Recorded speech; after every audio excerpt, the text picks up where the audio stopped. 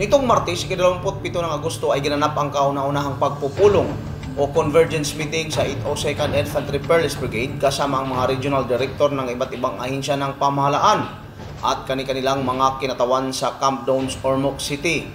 Ang layunin nito ay upang ma-synergize ang whole of government, whole of nation approach to end local communist armed conflict ang paghahatid ng mga serbisyo sa mamamayan ng Biliran, Leyte at Southern Leyte. Napagkasunduan ng RTF LCAC 8 na i-highlight ang pagunita sa pagkatuklas ng mass grave ng NPA sa Mount Subang Dako, Inupakan.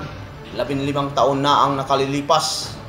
Ang hangaring ito ay upang ipaalam at maipakalat ang karumaldumal na krimeng ginawa ng teroristang NPA sa mamamayan ng rehiyon.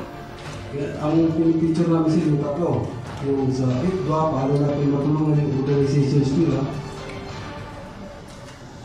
Pangalawa, itong massacre ng Ilobacan massacre.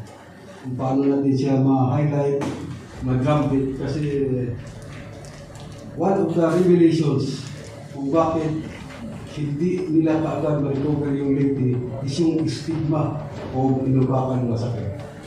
Kaugnay nito, nitong ikalabing walo ng Agosto ay nagpulong naman ang Stratcom Cluster ng RTF LCAC 8 na ginanap sa DILG Regional Office 8 sa Canhurao Hill, Tacloban City upang ripasuhin ang plano para sa paggunita ng Inupakan Massacre.